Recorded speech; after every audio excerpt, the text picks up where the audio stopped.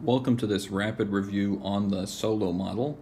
Uh, and we're going to focus on setting up all the key equations that we have in this model. And then we're going to, at the end, do um, a few brief calculations to illustrate how to use them. So we're building on previous discussion where we talked about how in the Solow model we prefer to have everything in terms of a per worker amount. So we have, for instance, output per worker. And we denote that with, instead of a capital Y, which would be total output, we have the lowercase y you see here in the video, um, which is output per worker. And we showed in a previous discussion how you can take a production function that's for total output and you can convert it into a production function for um, based on per worker inputs to tell you per worker output. And we denoted that with this little f here, and we called it the intensive form production function.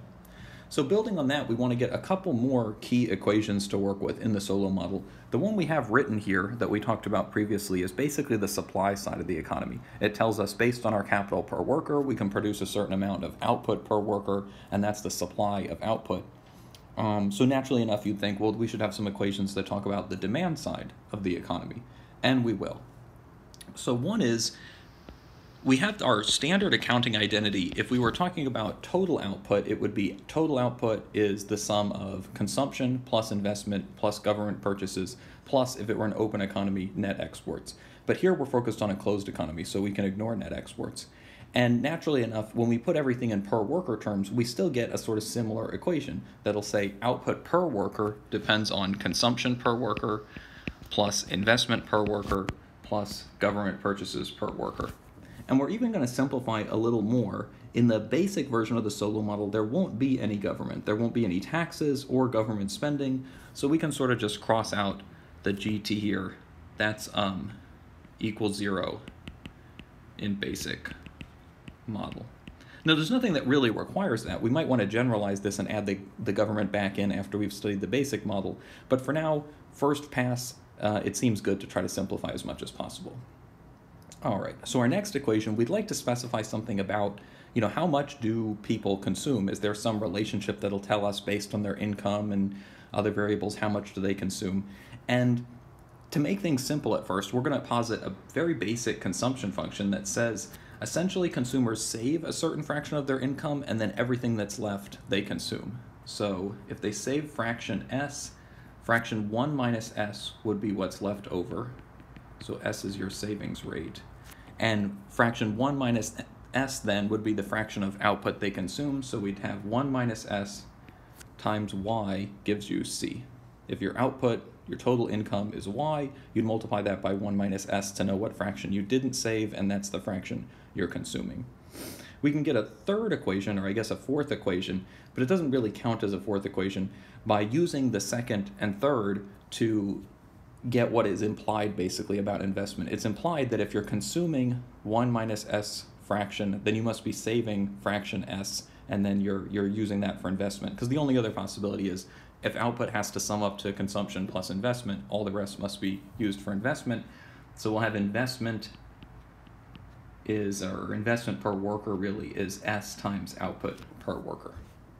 So fantastic. So now we want to just check in briefly and think about what are our endogenous variables here. Endogenous variables are y, c, i, and k. And I'm not bothering with the t subscripts here because um, we sort of, we sort of know that they're they're around. And if you have four endogenous variables, that means typically you'd need four equations. And you might say, well, we do have four equations, so isn't that good enough? But the problem is we said the fourth one, the IT, was implied by the second and third, so it doesn't really count as an extra equation. So we really need one more equation. Need one more. Uh, and that's going to be our focus in the next slide. So, then, so the next equation is going to be what we called our law of motion, when we studied unemployment. Remember, the bathtub model was our first dynamic model, and anytime you have a dynamic model, you need a law of motion that tells you how the model evolves over time. If you're in period zero and you want to find out how do you get to period one, how do things change from period zero to period one, you need a law of motion which spells out how at least one of the variables evolves. So here the law of motion is going to be for capital. It's going to tell us how do we get capital in that next period, k t plus 1.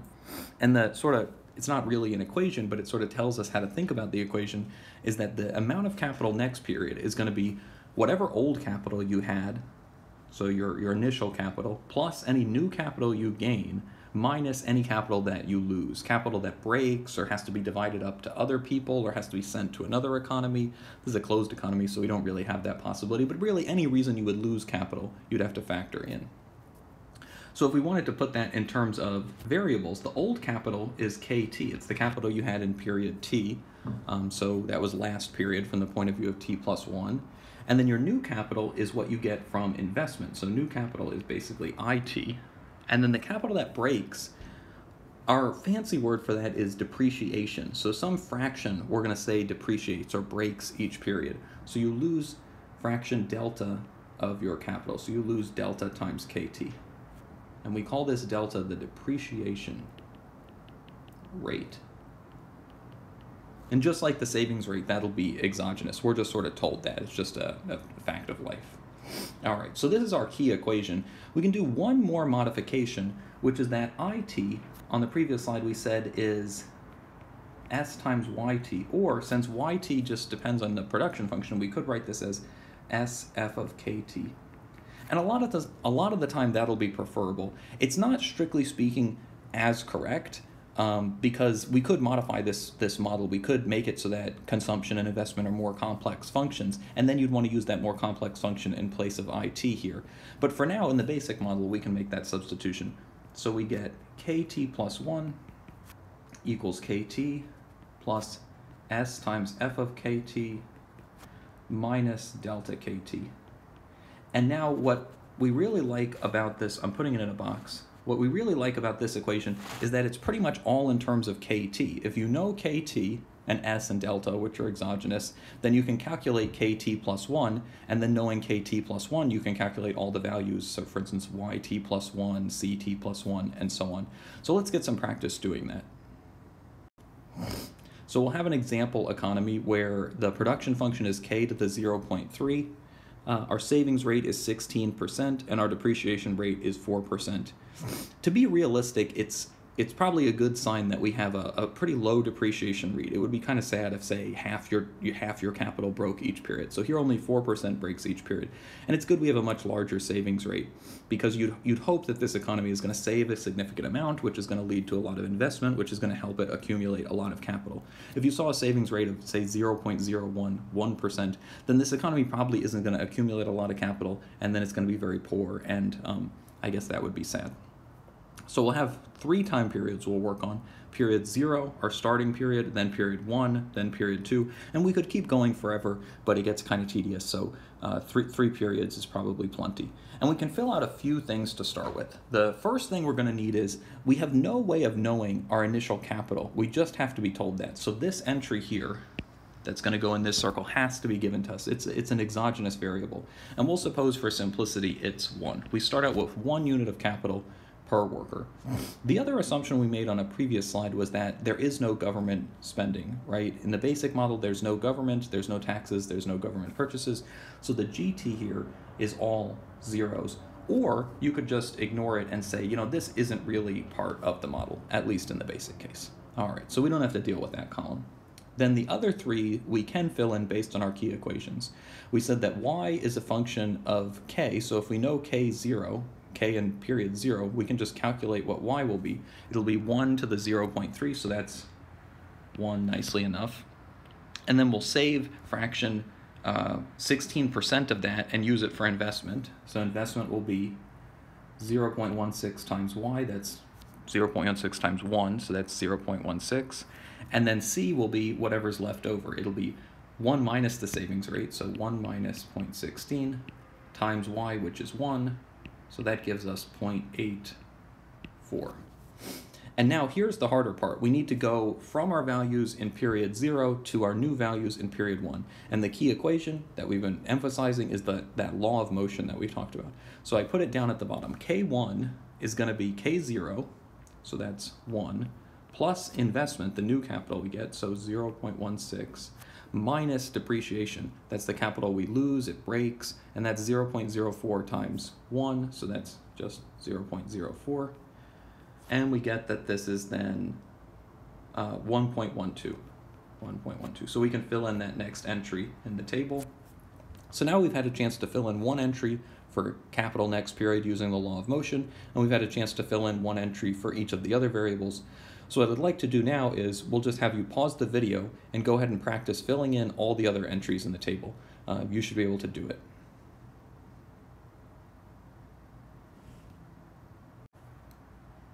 So I filled in the rest of the table. Hopefully these values match what you got. If not, check your calculations because the, the way we did this was just like we did earlier in the video. And I'd just like to make a few observations before wrapping up. Um, the first is that because of the investment rate exceeding the depreciation. We didn't calculate depreciation, but it, but but you can sort of tell that it must exceed it. Because it exceeds depreciation, we're accumulating more capital. We started with 1 unit per worker, then we had 1.12 units per worker, then we had 1.241 units per worker, and it seems like it's headed up. We might want to ask, well, is it headed somewhere specific? Does it head towards some steady state, like unemployment in our bathtub model? And the answer is yes. So that's the next thing we're going to investigate. The other thing is that because capital per worker is changing over time, you'll notice income is changing over time. Income is increasing, consumption is increasing, investment is even increasing. So we might also want to think about steady states for these variables. And uh, this steady state is really going to be the, fo the focus in using this model. It was fun to calculate all these values, but you can see it's tedious. So we mostly will focus on analyzing a steady state.